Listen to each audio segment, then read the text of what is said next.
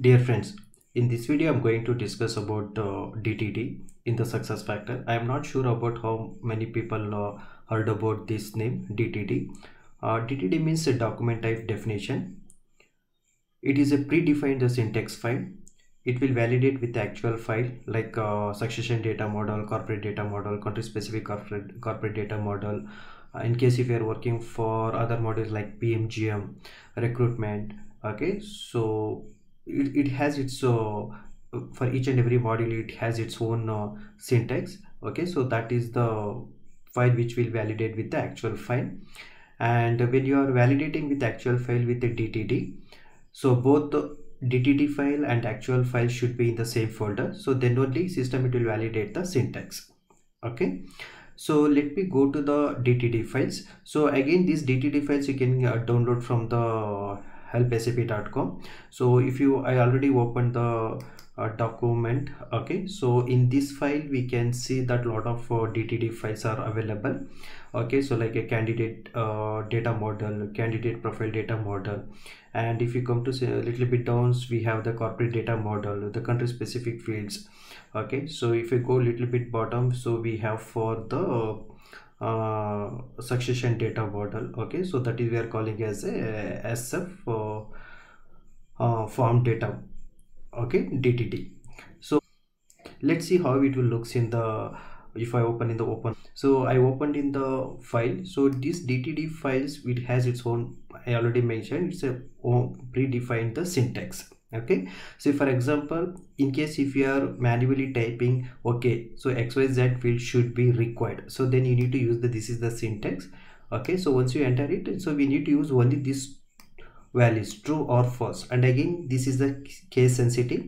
So you cannot use the capital letter true or false. Okay so that is the reason they had given in the bracket what should be the value. And also if it is coming to the visibility edit view none or both.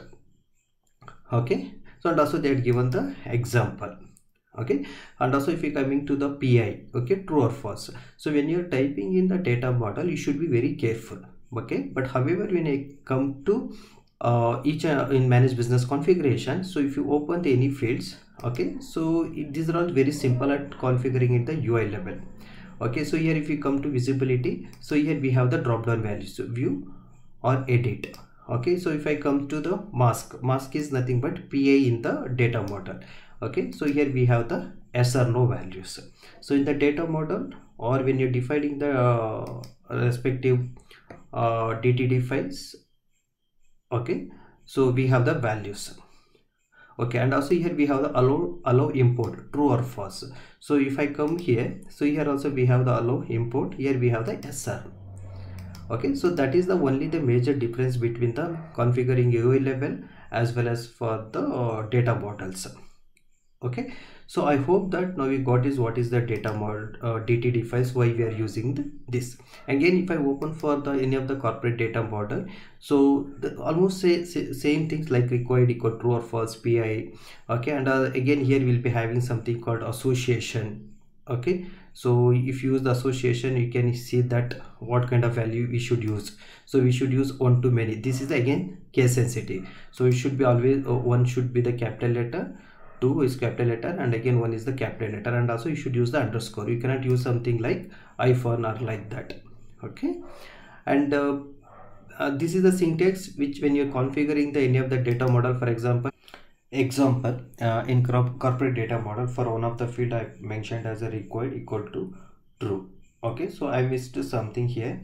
So when i click on xml validate file so system exactly throw the error where it is exactly. So if you see now the line number 47 so we have some issue. So required error attribute value true is not enumeration. Okay so we need to use the actual value in this field. So that is the purpose of we are using the uh, DTD file. So if you are already aware of this all this syntax, if you are writing properly, you no need to validate it.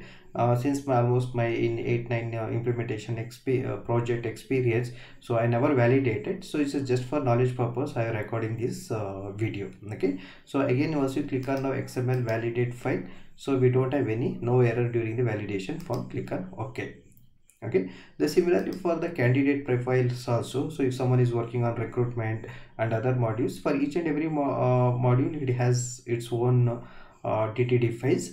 So for example here we have the custom. We in the uh, job requisition or somewhere uh, if you're using the the custom field so you need to put here the custom true or false okay? Whether this field is available for the public true or false you need to mention it. So whether this field is a read only true or false okay so like this so you can just go through the syntax or if you're already aware of the uh, this syntax you no need to check with the dtd otherwise you can just cross check uh, dtd and uh, validate the files so in the real time. Okay so this is all about the dtd files and i hopefully this is helpful for the fresher. I think uh, experienced people already aware of that because most of the modules are now we are uh, configuring in the uh, instance ui level itself. Even if you take it uh, uh, lms module uh, rcm pmgm so most of the modules we are working on directly in the uh, UI in the instance. Here and there we need to use the data models. So that time you should uh, very careful when you are configuring the Uh, requirement. Okay? So thanks for watching